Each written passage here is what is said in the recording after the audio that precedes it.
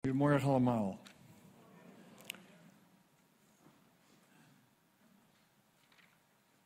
Miel heeft het al gezegd. Je kunt aan het eind van deze dag naar huis gaan en een heleboel meer weten dan je wist voor die tijd. Maar als het niet diep in je hart neerdaalt en het wordt niet je leven, is het een dag geweest waar ze in de hemel niet zo blij mee zijn. Daarom is het ons grote verlangen dat er vandaag echt wat gebeurt in ons hart. Dat God wat met ons kan doen. Ik vind dat wij in een buitengewoon ernstige tijd voor christenen leven. Ik ga er niet op in, maar deze tijd is ernstig. En het wordt er niet makkelijker op. En daarom is ons verlangen dat vandaag een dag is waar ze in de hemel blij mee zijn. Waardoor God geëerd wordt, waardoor het koninkrijk van God dichterbij komt. En uh, daarom zou ik u willen voorstellen om um, een ogenblik stil te zijn. Ik moet denken aan de Emmausgangers, die lopen daar samen op weg van Jeruzalem naar Emmaus. En ze hebben het over de Heer Jezus, maar ze blijven er somber onder doet in hun hart niks. Totdat hij erbij komt. Mee gaat wandelen. En dan staat er, werd ons hart niet brandende in ons? Toen hij de schriften uitlegde en ons diepe verlangen is dat hij erbij is vandaag. Want dat maakt het verschil. Zijn aanwezigheid. En dat doet iets in ons ja, wat hij alleen maar kan, wat geen enkele spreker kan, wat niemand kan, wat hij alleen maar kan. Daarom wil ik u voorstellen om een paar minuten stil te zijn en dat u in die paar minuten aan hem bevraagt of hij erbij wil zijn. Zullen we dat doen?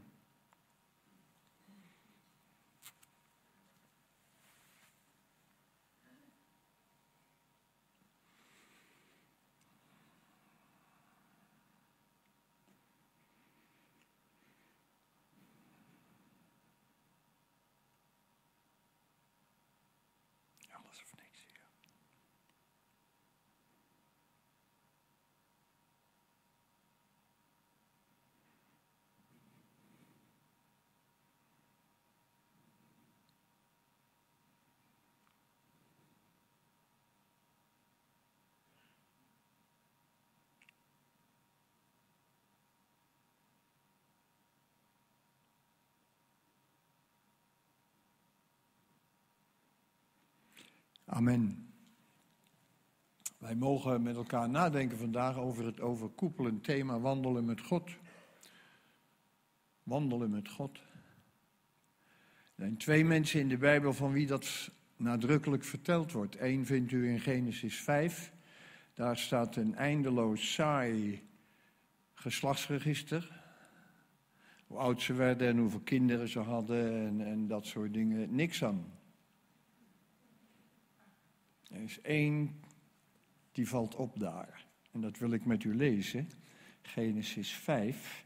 Daar staat dan zo ineens tussen. Genesis 5, vers 21. Toen Henoch, en daar heb je hem, 65 jaar geleefd had, verwekte hij Methuselah. En Henoch wandelde met God nadat hij Methuselah verwekt had, 300 jaar en hij verwekte zonen en dochteren. Zo waren al de dagen van Henoch 365 jaar en Henoch wandelde met God. En er was niet meer, want God had hem opgenomen. Dat is alles wat we weten van Henoch. En als u de geschiedenis ingaat als iemand die wandelde met God, bent u een buitengewoon gezegend mens. Al hebt u geen koffiebar opgezet, geen gemeente gesticht, geen.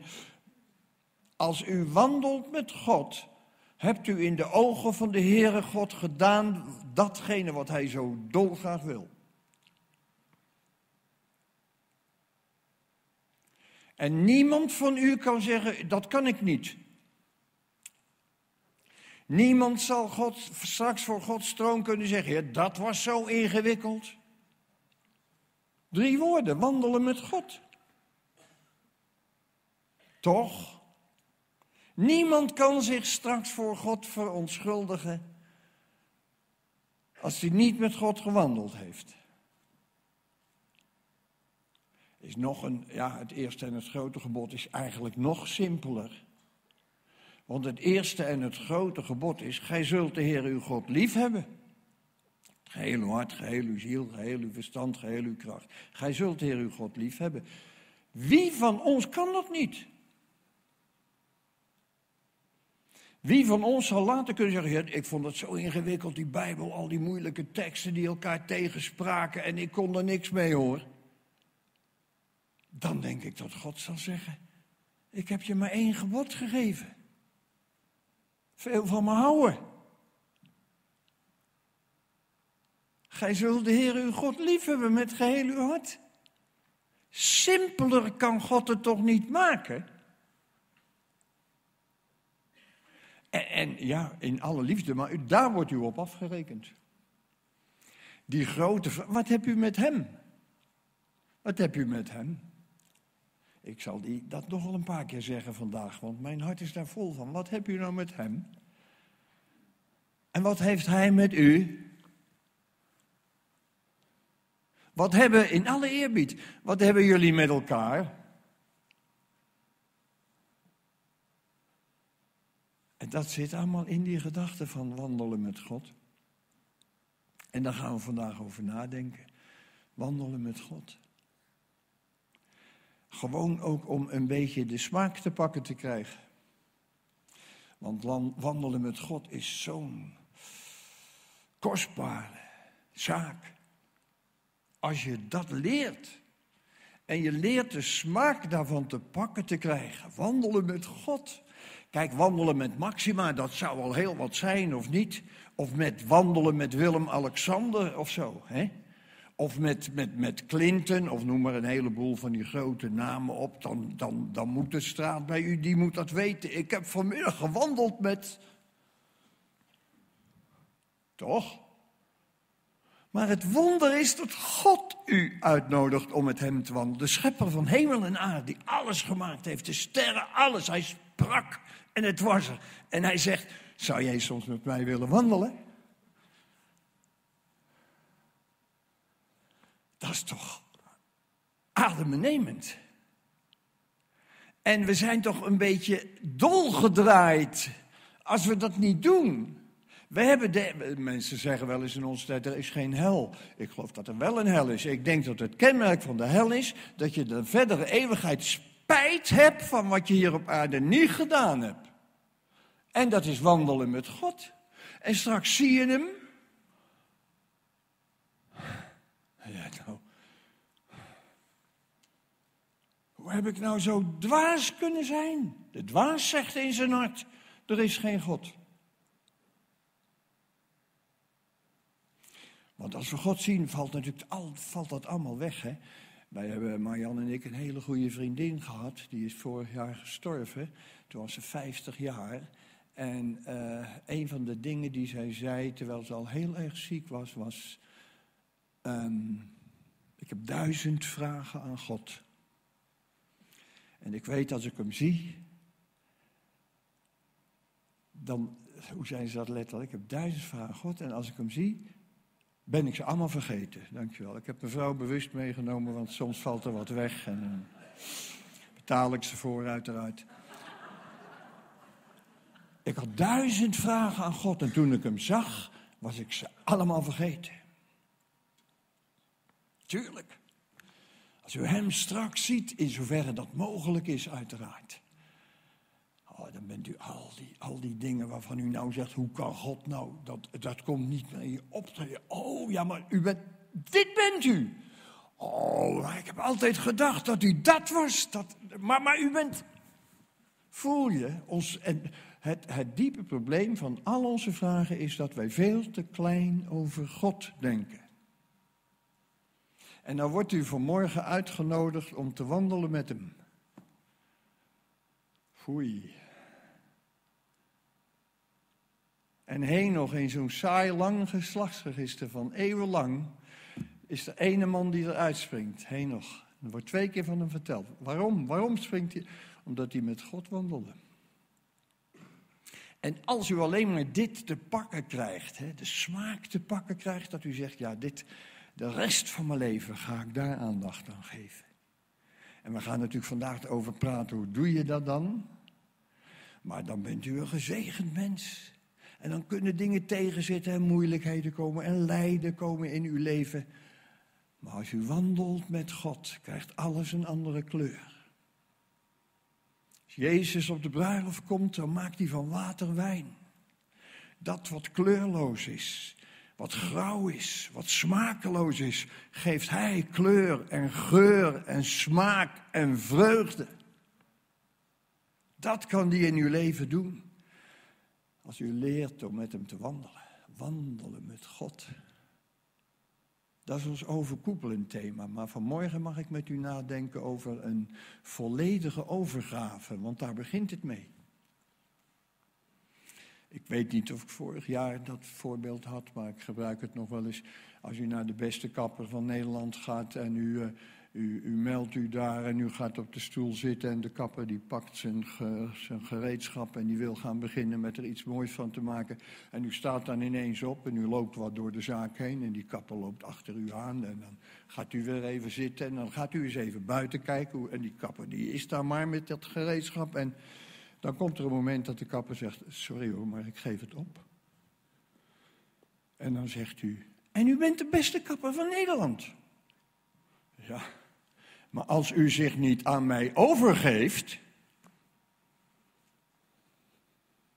is ook met God. God is de beste psycholoog, psychiater, eh, socioloog, theoloog. God weet elk defect bij u van binnen. God weet precies hoe u in elkaar zit.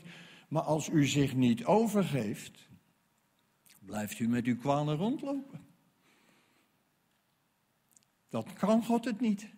Daarom is een volledige overgave het begin van een, een, een, dat wat God met u gaat uitwerken. Nou, ik sprak eens met een jongen en ik vroeg aan hem in een gesprek, ik zeg, ben jij een christen? Toen zei hij, ja, maar niet helemaal natuurlijk. Dacht ik, hoe, hoe, hoe, hoe doe je dat? Hoe kan dat? Ik heb hier wel eens het voorbeeld gebruikt, herinner ik mij van die mijnwerkers in Chili. Hè, die moesten in die kooi stappen en dan werden ze naar boven gehesen. Nou, dan staat er eentje voor en die zegt, ga je gang, jij bent aan de beurt. Ja, ik wil wel instappen, maar niet helemaal natuurlijk. Nou, hoe, hoe, hoe, moet dat dan? Voelt u?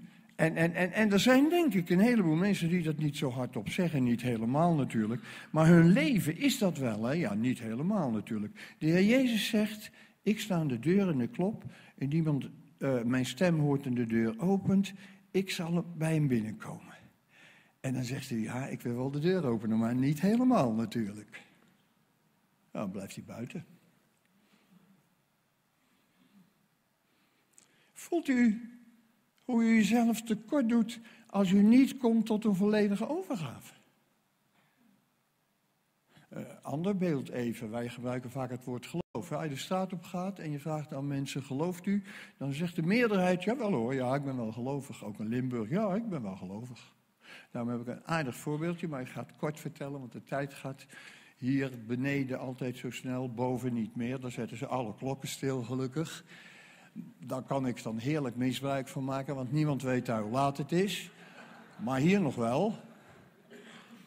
Uh, geloven, hè? zeggen mensen, ja, ik ben wel gelovig. Heel kort zal ik het vertellen. Er is in het begin van de vorige eeuw een koordanser geweest, een Fransman, die heette Blondine. Die liet een kabel spannen, het is echt geschiedenis, over de Niagara-watervallen en ging over die kabel van de ene rots naar de andere rots.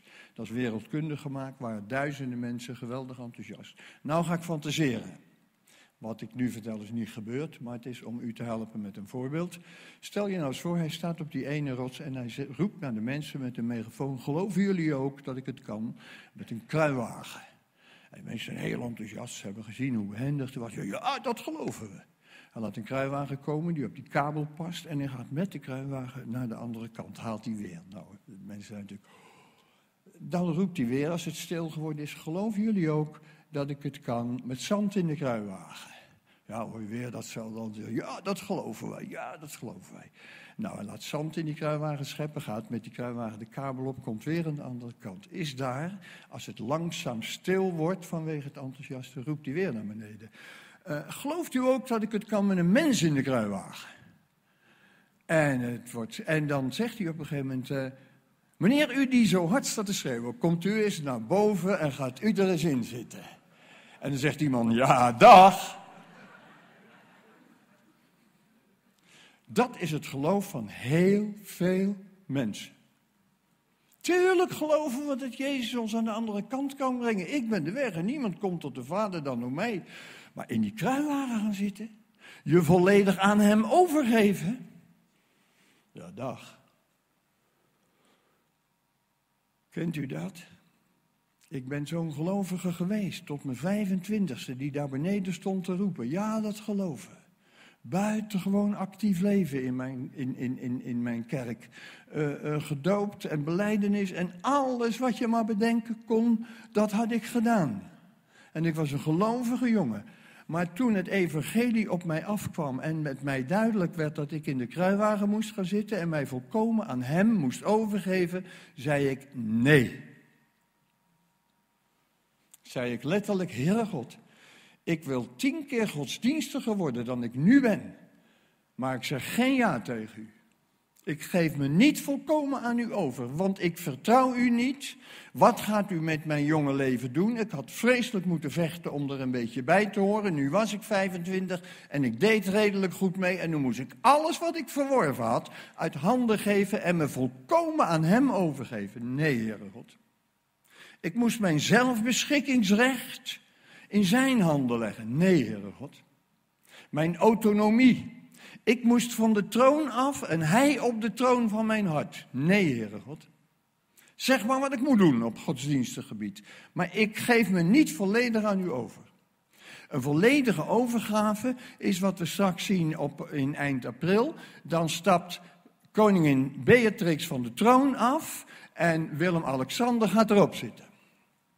Dat is een troonsverwisseling. En een volkomen overgave betekent een troonsverwisseling in uw hart. Tot hiertoe heb u zelf de dienst uitgemaakt. En dan gaat hij de dienst uitmaken. Dat is een volkomen overgave. Ik heb me er maanden tegen verzet. Maar ik denk dat er in die tijd zo hevig voor mij gebeden werd dat ik uiteindelijk gezegd heb, hier hebt u mijn leven, ik ga in de kruiwagen zitten. En stort ik neer, dan stort ik neer. Ik vind het doodeng om ja tegen u te zeggen, want ik, ik vertrouw u niet. Ik ben echt bang dat u daar misbruik van gaat maken. Jonge vent, u kunt me allerlei dingen laten doen waar ik helemaal geen zin in heb. Maar hier ben ik. U bent God. En u had één zoon. En u hebt die ene zoon de dood ingejaagd voor mij. Dan moet u een goede God zijn. Dat hielp mij over de streep. En toen heb ik ja gezegd. En ik denk dat ik mag zeggen door Gods genade dat mijn bekering een volkomen overgave geweest is. Omdat God dat in me bewerkte. Er is nooit zoiets geweest van ja, maar niet helemaal natuurlijk. Nooit zoiets geweest van, ja, ik geef mijn leven aan u, maar dan moet u wel. Nooit is dat er geweest. Ik heb echt kunnen zeggen door Gods genade, hier ben ik, heren. Nou u.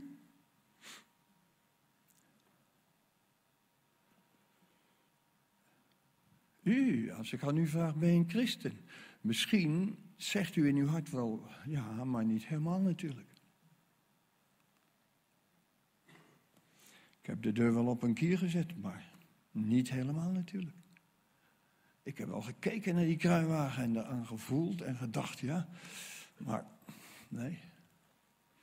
Ik regel het liever zelf, denkt u. Wat gaat God met mijn leven doen als ik het, als ik het uit handen geef, mijn zelfbeschikkingsrecht? Ja, dan, dan, dan doet u uzelf Heel veel tekort. Want u komt bij die kapper vandaan met een kapsel wat er niet uitziet. En u komt straks voor Gods aangezicht en u ziet er niet uit.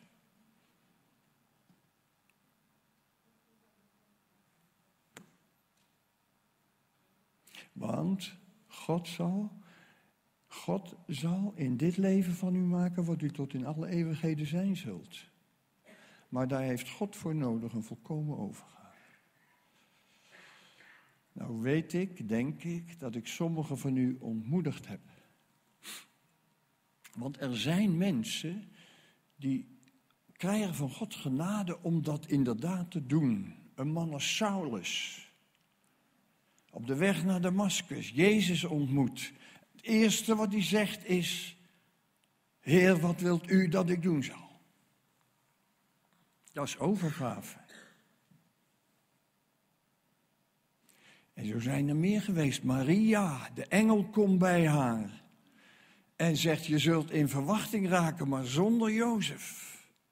Want de Heilige Geest zal over je komen en de kracht van de Allerhoogste zal je overschaduwen. Daarom zal het Heilige wat in je verwekt wordt, Zoon van God genoemd worden. En Maria overdenkt dat. En ze woont in een dorpje waar iedereen haar kent en weet dat ze verloofd is met, met Jozef. Hoe moet ik dat straks aan Jozef overbrengen? Jozef, ik ben in verwachting. En Jozef wist dat is niet van mij. Hoe moet ik dat aan mijn ouders brengen? Wat moet ik in dit dorp? Ze zullen me eruit stoten als een sloerie. In die tijd werden vrouwen gestenigd. Als dit ze overkwam. Denk maar aan Johannes 8. Ze brengen een vrouw op overspel betrapt. En, en, en ze zeggen erbij: Mozes heeft gezegd dat zulke gestenigd moeten worden. En Maria overdenkt dat en ziet dat als een film aan haar voorbij gaan. Dit wordt dus de rest van mijn leven een uitgestotene, misschien gestenigd, wat, wat. En ze zegt, zie, de dienstmaagd des Heeren, mij geschieden naar uw woord, doe maar, hier ben ik. Dat is volledige overgave. En die mensen zijn er in de Bijbel die eigenlijk vanaf het beginpunt zo ver kwamen. En als een boodschap, een evangelieboodschap goed op je overkomt, ga je beseffen dat God alleen zijn doel kan bereiken na een volledige overgave. En gaat God je ook de bereidheid geven om dat te willen. Het is toch onverstandig om je bij de kapper te gedragen zoals ik dat in mijn voorbeeld aangeef. Dat, dan wordt het toch niks. En we hebben het over wandelen met God. Ik denk dat sommigen van u door wat ik zeg niet bemoedigd worden. En dat. Uh,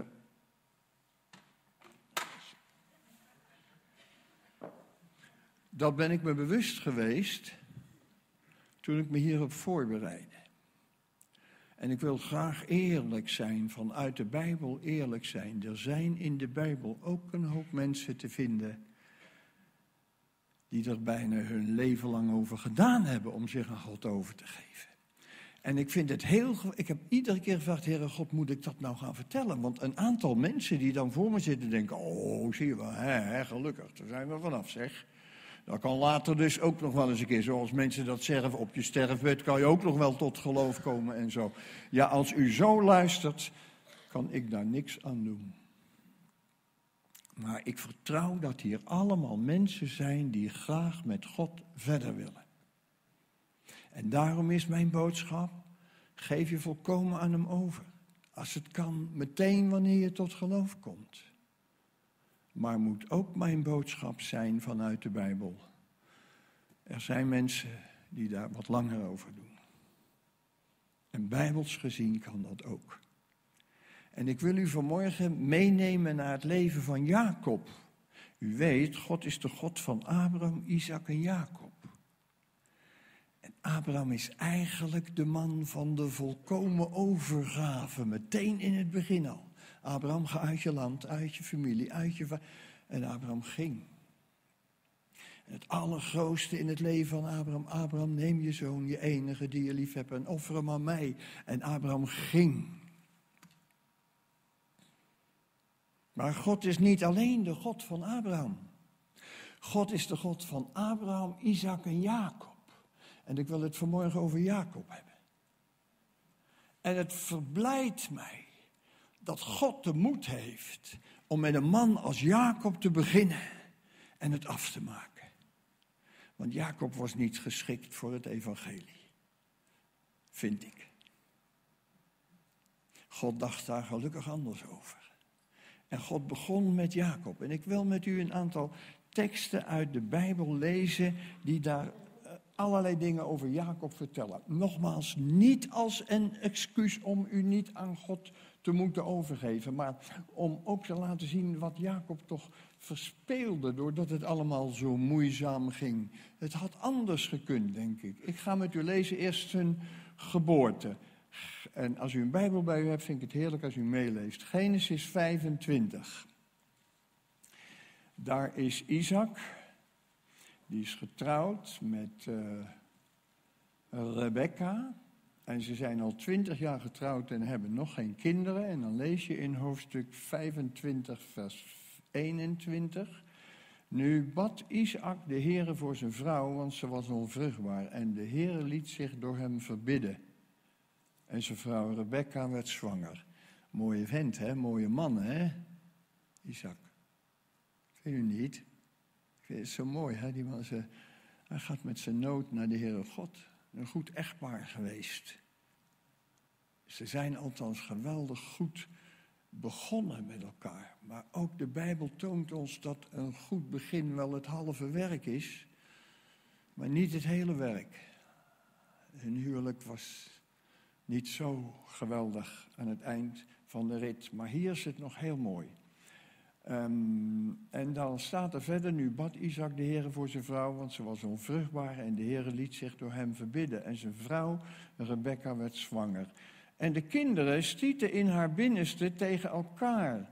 Toen zeiden zij, indien het al dus gesteld is, waarom overkomt mij dat? Daarop ging zij om de Heer te vragen. Ken u dat?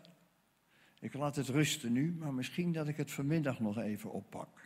Wandelen met God betekent dat je met je vragen soms naar Miel kan gaan of naar Peter of naar een heleboel anderen die je daarbij kunnen helpen. Maar veel beter is als u leert om met uw vraag rechtstreeks naar God te gaan.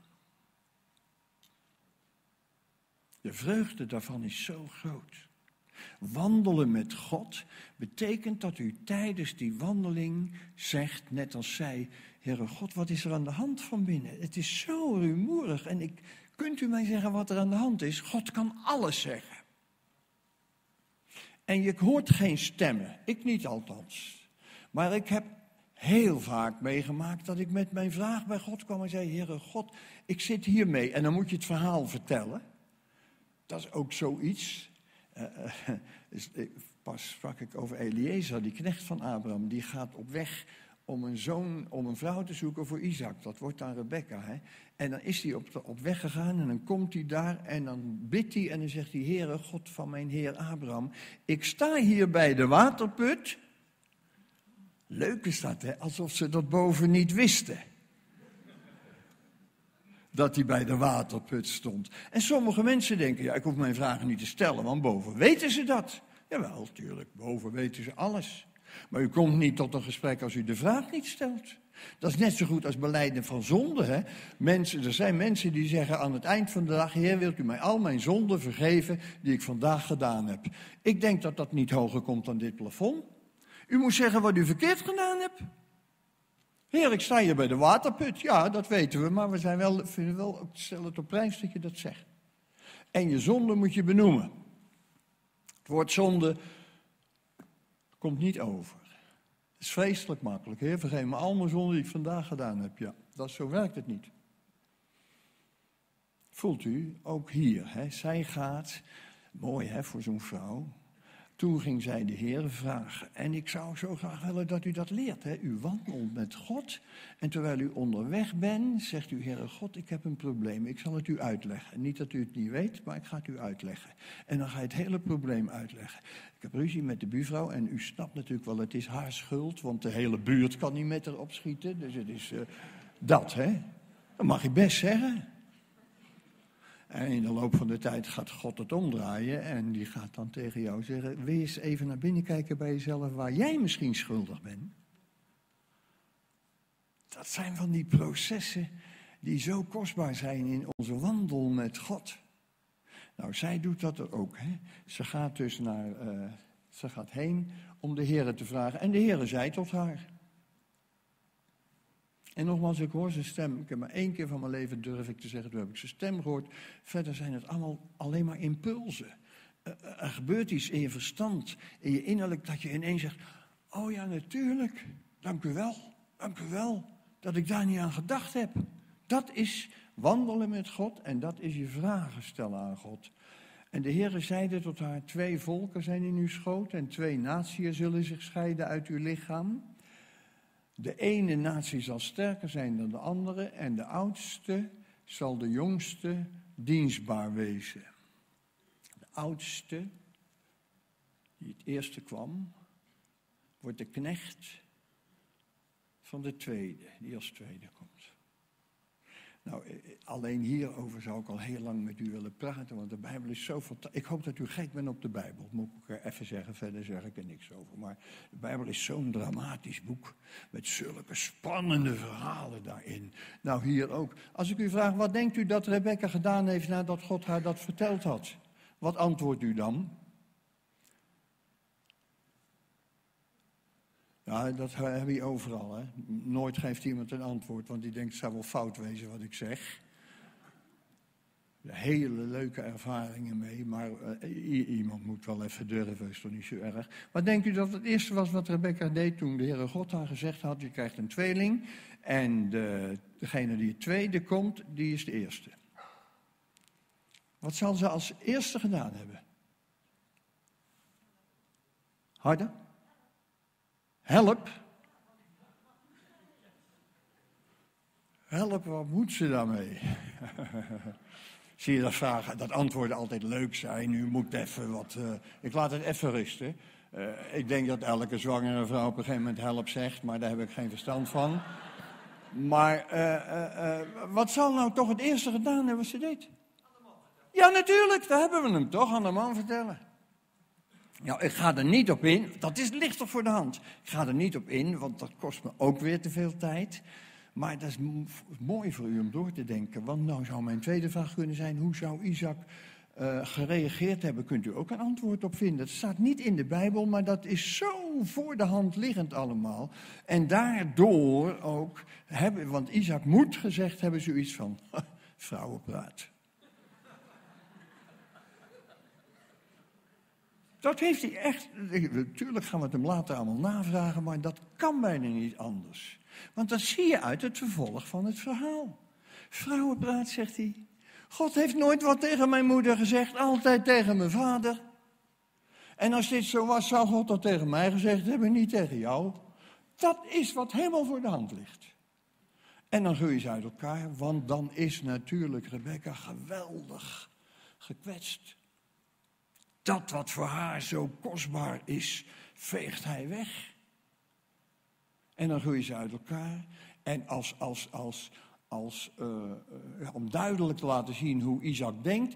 Isaac kiest voor Esau, staat er. Isaac had Esau lief. Ja, dan kiest Rebecca de andere kant. Rebecca had Jacob lief. En dan gaan ze. En u ziet hoe het aan het eind van het huwelijk gaat. Dan is zij in staat om haar eigen man op een heel lelijke manier te bedriegen. Met behulp van de zoon Jacob. U kent het verhaal. Voelt u, voelt u, uh, uh, waar, waar, waar wil ik naartoe met dit alles? Um, nadat zij dat natuurlijk aan de man verteld heeft, dat verkeerd uitpakken, is natuurlijk een tijd gekomen dat ze dat aan de zoon vertelt. Jacob, je bent nou groot genoeg om het te horen. Kom eens hier. Ik moet je wel vertellen, toen ik in verwachting was en jullie, jullie zouden komen, Esau en jij, toen eh, wist ik niet wat er gebeurde. Ben ik bij, eh, heb ik het aan God gevraagd. En God heeft mij gezegd: het wordt een tweeling. En de oudste, die wordt de knecht van de jongste. Jij bent de jongste, dat weet je, hè? want dat heb ik je ook wel eens verteld. Jij hield de hiel van je broer vast toen hij als eerste naar buiten ging. En daar, had je, daar kon je niet mee leven. Dus je, kent u dat? U bent aan het zwemmen in een zwembad of waar dan ook. En daar zwemt iemand voor je. Moet het wel iemand zijn die u kent, anders krijg u ruzie. Maar er zwemt iemand voor je en je wil hem inhalen en het lukt je niet. Dan pak je die hielbeet en je trekt hem naar achteren. Dan ben jij de eerste. Nou, dat is het karakter van Jacob. Volkomen overgave bij Jacob. Jacob is bij uitstek de man die alles zelf regelt. Vanaf zijn geboorte af. En hij zou op je plek, jongen, achter mij. Dat weet hij natuurlijk niet als baby. Maar het geeft wel te kennen hoe die in elkaar zit. En dan gaat zijn moeder hem vertellen: God heeft gezegd dat jij als tweede de eerste zal zijn. En Esau zal dienstbaar zijn aan jou. Nou, dat is natuurlijk, dat gaat er wel in bij Jacob. En op een dag zit hij daar, uh, heeft hij soep gekookt. En Esau die komt thuis en die heeft zo lang gewerkt en die is moe. En dan ziet hij en ruikt hij die soep en dan zegt hij letterlijk: Laat mij slokken van dat rode, dat rode daar, want ik ben moe. En Jacob denkt: Dit is van de Heer.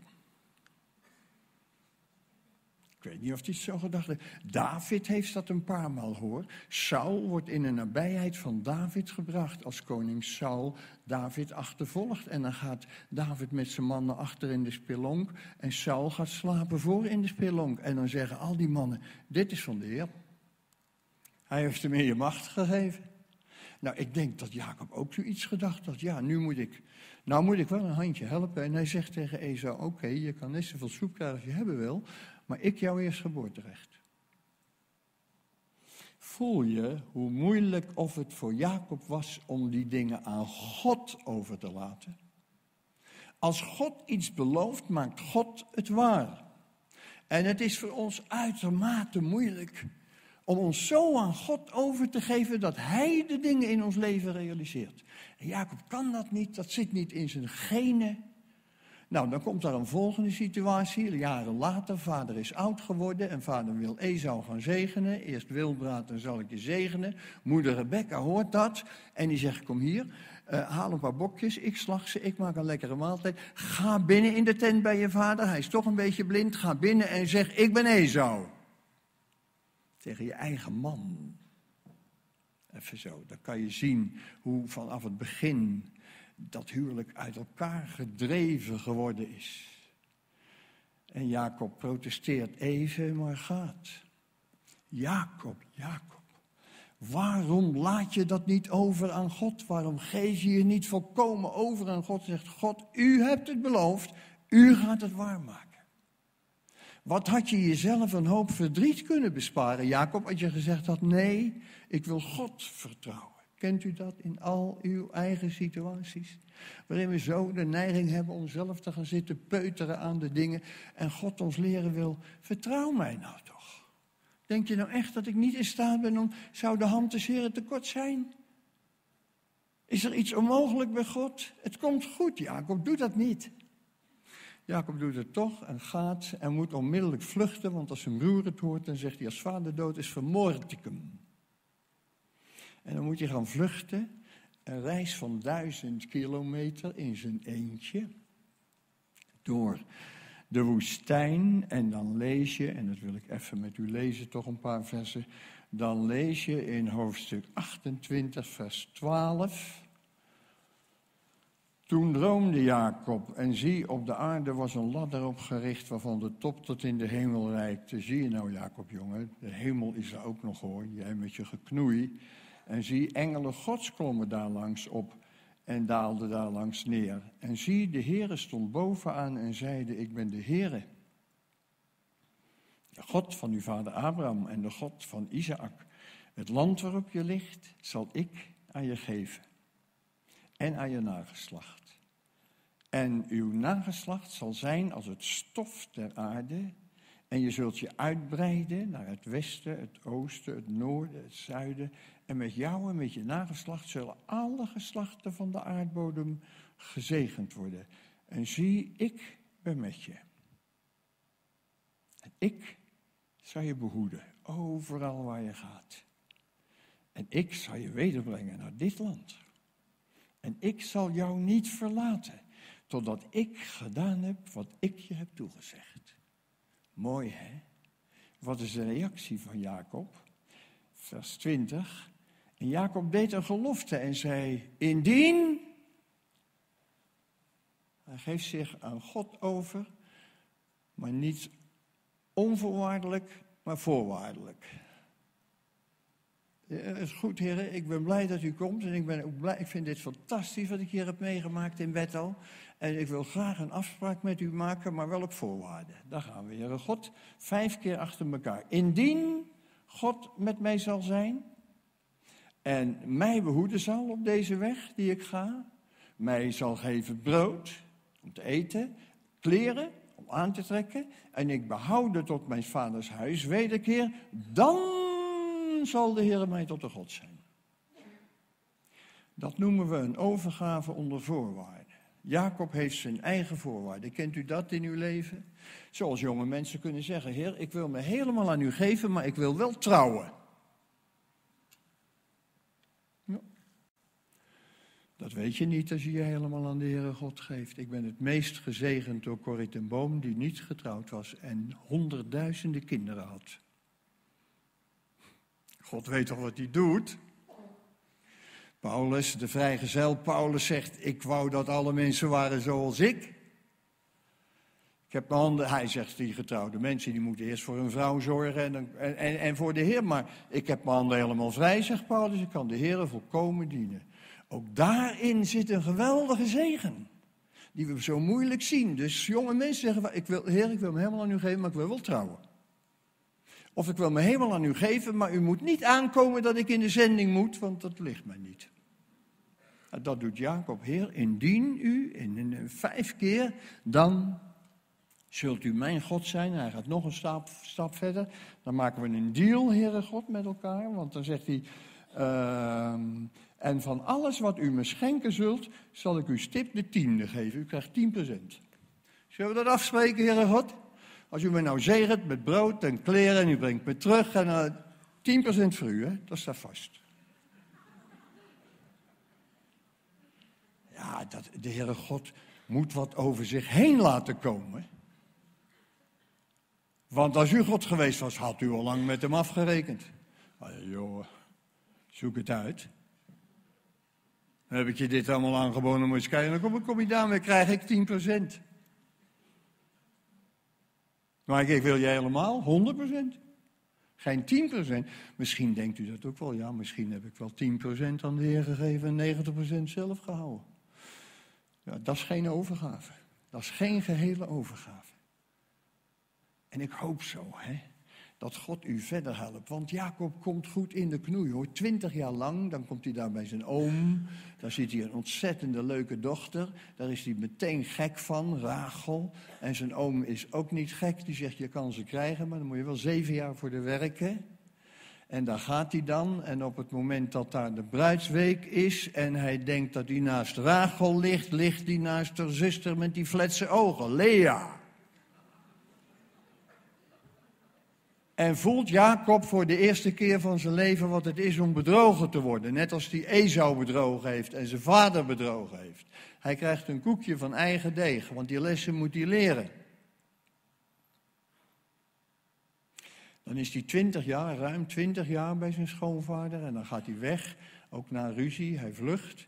En dan komt er een situatie waarin je min of meer kunt zeggen dat hij eindelijk tot een volkomen overgave komt in zijn leven. Dat leest u in hoofdstuk 32. Hij gaat dus weg bij zijn schoonvader, maar hij weet nu ga ik terug naar het land waar ik van kom, het beloofde land, maar daar woont mijn toekomende moordenaar, Esau, die gezworen heeft, als vader dood is, vermoord ik je. En nou komt Jacob voor de eerste keer van zijn leven in een situatie die hij niet zelf handelen kan.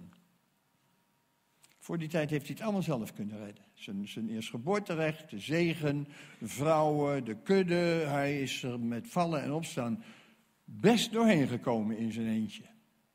Maar nu komt hij in een situatie, en hij, ik ben daar twee jaar geleden geweest, heeft op mij een grote indruk gemaakt. Dan komt hij daar bij dat zijbeekje, de Jabok, dat is een heel diep ravijn bijna. Dan moet hij afdalen en dan moet hij door dat beekje heen met alles wat hij bij zich heeft. En dan moet hij daar aan de andere kant weer naar boven klimmen.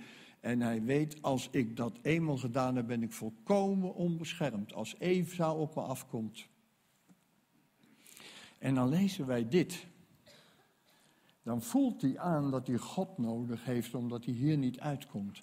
En dan staat er in vers 22 van hoofdstuk 32, toen stond Jacob in die nacht op, nam zijn beide vrouwen, zijn beide slavinnen, zijn elf zonen en trok de doorwaadbare plaats van de Jabok over. Hij nam hen en deed hen de beek overtrekken en hij bracht alles wat hij had naar de overzijde. Kent u dat? Dat hoort bij een overgave. Hè? De Heer Jezus zegt, zo zal dan niemand van u die niet afstand doet van alles wat hij heeft, mijn discipel kunnen zijn. Is alles wat u hebt van hem? Hij is niet zo gierig hoor. Hij moet echt niet denken. Nee, God weet, God weet dat u eten en drinken moet. En een leuk huis moet hebben. En een auto om mee te rijden. Allemaal niks aan de hand. Uw vader weet, zegt de Heer Jezus, dat je dat allemaal nodig hebt. Maar durven we het aan? Kijk, even er tussendoor van mezelf weer. Ik denk dat ik bij mijn bekering, ik kom er nog misschien even op terug, wel alles in Gods handen heb gelegd. Met beven en vrees. Ik dacht, nou ben ik alles kwijt. En ik wil als getuigenis het toch wel even gezegd hebben. Wat heeft God mij verwend? Als u nog denkt dat u er slechter van wordt, door alles in Gods handen te leggen, dan wil ik u tegenspreken. Wat heeft God mij verwend?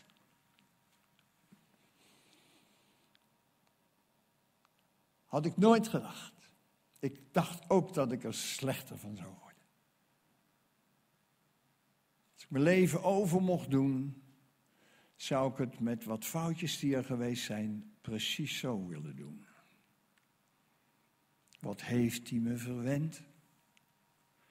Krijgt God de kans om u te verwennen? Dwars door de modder heen hoor, even zo erbij. Dwars door de modder heen.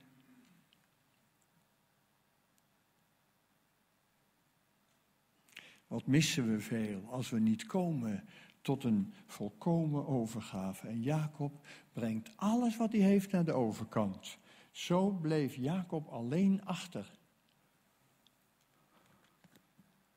Ja, want het moeilijkste om aan God over te geven, dat ben je zelf. Alles wat je hebt aan God overgeven is al heel wat hoor. Maar nou jijzelf. Zodat je niet meer de baas bent. Zodat God het gaat bepalen. Nou jijzelf. En Jacob bleef alleen achter. En hij wist alles naar de overkant. Maar, maar, maar dat kan hij niet. Dat zit er niet in bij Jacob, die de hiele lichter was, die het allemaal zelf regelde. Dat kan die niet. En dan staat er hier dat schitterende gedeelte. Zo bleef Jacob alleen achter en een man, en later zegt hij, dat zegt de Bijbel, gij hebt gestreden met God. En hij zegt zelf, ik heb God gezien, dus die man is een verschijning van God zelf, zoals God aan Abraham verscheen, drie mannen, waarvan God er één was en de twee engelen. En je dat vaker in de Bijbel leest, ook hier is daar die wonderlijke figuur van een mens die God is. Net zo goed als dat Jezus kwam als een mens die God was. Mooie dingen hoor. Maar dat laten we nu rusten. En hier, en een man worstelde met hem tot de dag aanbrak. Toen deze zag, toen die man zag dat hij het van Jacob niet kon winnen, dat hij hem niet overmocht, want Jacob kon niet verliezen. Ook hier niet. Jacob was de winnaar, altijd. Hij kon niet verliezen, dat kon hij niet. Dat zat, dat zat er niet in bij hem. En toen die man zag dat hij het niet overmocht, sloeg hij Jacob op zijn heupgewricht, zodat zijn heupgewricht ontwricht werd terwijl hij met hem worstelde. Hij maakte hem invalide. De engel, God zelf, zag: hier is een man die niet kan verliezen, maar wel wil. God, neem mijn leven. Ik, ik, ik, ik wil dat u de baas bent. Maar laat me niet gaan, Heer. Ik laat u niet gaan tenzij u me zegent. En dan slaat die man hem op zijn heupgewricht. En dan is de stoere macho, Jacob, ineens een gehandicapte. Die door zijn rug gaat, die door zijn benen gaat. Die die man vast moet grijpen, die aan hem hangt omdat hij niet meer bijna op eigen benen kan staan. En dat is wat God wil. God wil u maken van iemand die op eigen benen kan staan tot iemand die aan hem hangt. Die afhankelijk is van hem. Dat is volkomen overgave. Oh, we kunnen zoveel, ook in onze godsdienst. We kunnen zo vreselijk veel. Maar God is niet gediend van die mensen die zoveel voor Hem kunnen. God zoekt naar mensen die aan Hem hangen, zodat Hij door u heen de dingen doen kan. Hij is de enige die zijn koninkrijk kan bouwen. En hij slaat hem op zijn heupgewricht. Wij hebben tegenwoordig de Partij voor de Dieren, dus je moet oppassen met wat je zegt. Maar het was vroeger de gewoonte bij herders. Hè, die hadden een kudde achter zich. En dan gebeurde het wel dat een lammetje, die heb je, die kent u ook onder uw eigen kinderen, herkent u dat? Een lammetje, dat, dat bleef niet bij de herder, had voortdurend de neiging om in de achterhoede wat rond te snuffelen. Dat ken sommige kinderen hebben dat, dat weet u, hè, dat hoef ik u niet uit te leggen. Nou, zoek altijd de grens op, hoe ver kan ik gaan? Nou, dat, dat lammetje had dat ook, hè, die liep achteraan, maar die herder was daar bezorgd over, want die dacht, straks komt er een wild dier en dan ben jij het slachtoffer. En iedere keer pakte hij dat lammetje en zei, hier moet je wezen, vlak bij de herder. Dan kun je mijn stem horen, dat is veilig, dat... maar het lammetje deed het niet, ging iedere keer achterin lopen. Toen kwam er een dag waarop de herder het lammetje pakte en hem zijn poot brak. Dat kunnen wij niet zeggen in onze tijd van de, de Partij van de Dieren. Maar die tijd was anders. En God, die herder brak het pootje van het lammetje, zoals hier de man Gods Jacob slaat op zijn heupgevricht, zodat hij mank is voor de rest van zijn leven. God geeft ons soms zo'n slag. Waarom doet die herder dat? Omdat dat lammetje kon vanaf dat moment niet meer lopen, kon niet meer op eigen benen staan. En dan neemt die herder dat lammetje en draagt dat een week of zes. En dan is dat lammetje in die zes weken zo gehecht geraakt aan die herder die hem zes weken gedragen heeft, dat hij het niet meer in zijn hoofd haalt om achterin te gaan lopen. Vlak bij de herder, waar de herder is wil ik zijn. Wandelen met God. En God staat soms toe dat u geslagen wordt, opdat hij u dragen kan. En u zo aan hem gehecht raakt, dat u niet meer achteraan wil lopen, maar vlak bij hem wil zijn. Dat is wandelen met God. Oh, die herder is zo fantastisch. Die weet zo goed wat hij doet. Ook als u klappen krijgt in uw leven. Hij weet zo goed wat hij doet. En hem vertrouwen erin. En Jacob wordt daar dan geslagen. Terug naar Jacob. En dan staat er.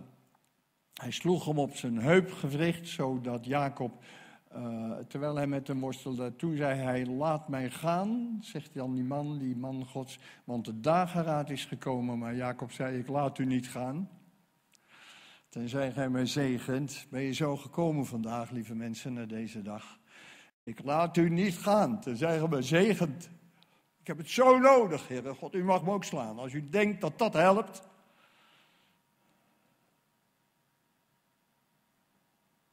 En daar is Jacob. En dan, en, en dan moet hij zijn naam noemen.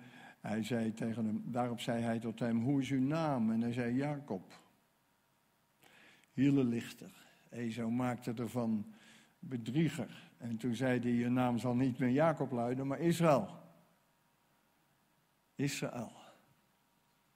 Want je hebt gestreden met God en mensen en je hebt het gewonnen. Je hebt het gewonnen door te willen verliezen.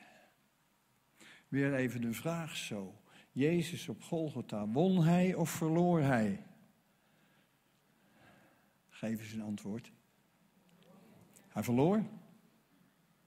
Hebben we daar alles mee gezegd? Nee, want hij won.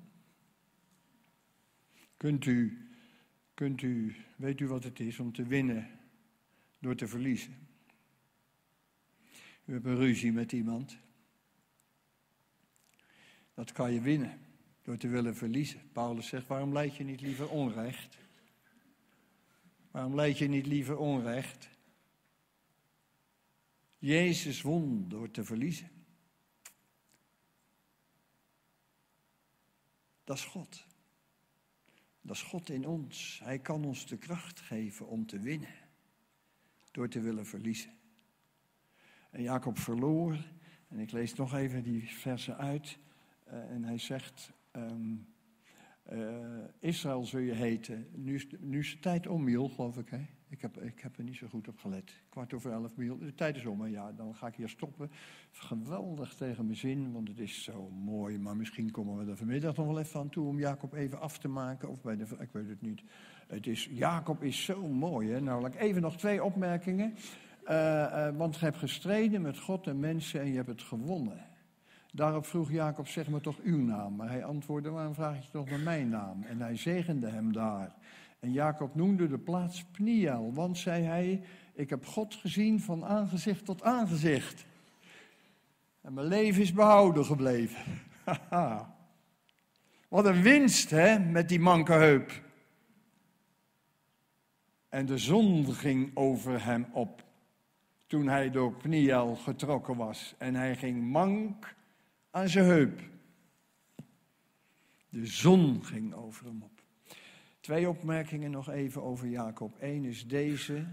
Toen in 1948 de staat, uh, de onafhankelijkheid uh, van Palestina, u kent dat wel, daar, daar uh, in de Knesset een grote vergadering onder leiding van Ben Gurion. En toen moest de Knesset beslissen welke naam of de staat zou krijgen.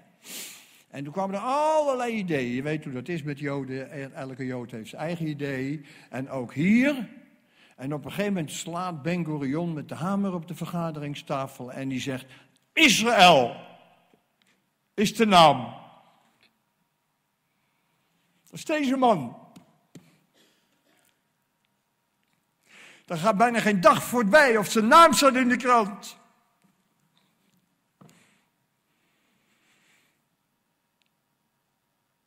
En nou naar u toe. De Heer Jezus zegt, ze zullen komen van oost en west en noord en zuid en Limburg. Heeft hij niet bij gezegd, maar dat zeg ik erbij. En ze zullen aanliggen in het koninkrijk der hemelen met Abraham, Isaac en Jacob. U mag zelf kiezen bij wie u bijschuift. Dat is uw toekomst. Ik weet niet wie ik kies. Och, we hebben de eeuwigheid voor ons, dus we kunnen met alle drie een lang gesprek hebben. Maar ik denk dat ik begin met Jacob. En ik heb hem al nooit gezien. Maar de Bijbel vertelt ons dat we het meteen hem herkennen. Ha, Jacob. Mag ik, eh, heb je een plekje? Mag ik een tijdje? Ziet u dat voor u?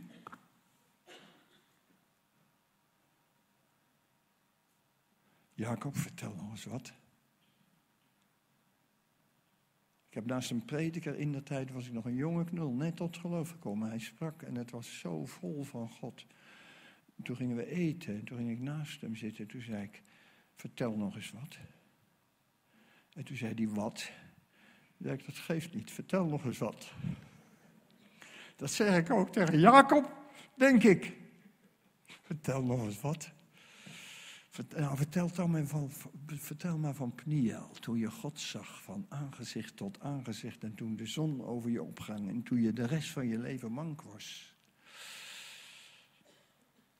Droomt u een beetje met mij mee van een volkomen overgave? Dit was zijn volkomen overgave. Hier ben ik, Heer. Sla me maar, doe maar, hier ben ik, Heer. Volkomen overgave, zodat hij met u doen kan wat hij wil.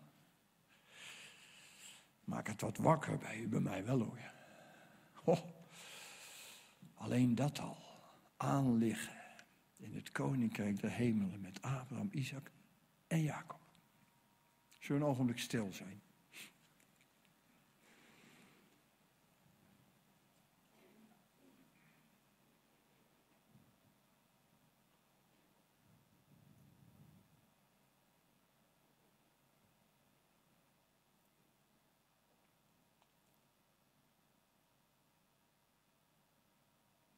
Vader, u bent zo fantastisch.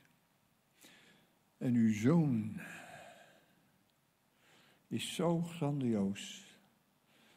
U, heiland, die als God mens werd om ons te kunnen brengen tot uw Vader, zodat wij straks ze zullen komen van oost en west en noord en zuid en Limburg. En Limburg, Heere God, voor uw aangezicht zeg ik het erbij. En we zullen mogen aanliggen in uw koninkrijk met Abraham, Isaac en Jacob. Wat een droom die werkelijkheid wordt. Dank u wel, dank u wel dat u dit wilt. Dit is wat u wilt. Wandelen met ieder van ons. Zodat we ons volkomen aan u overgeven.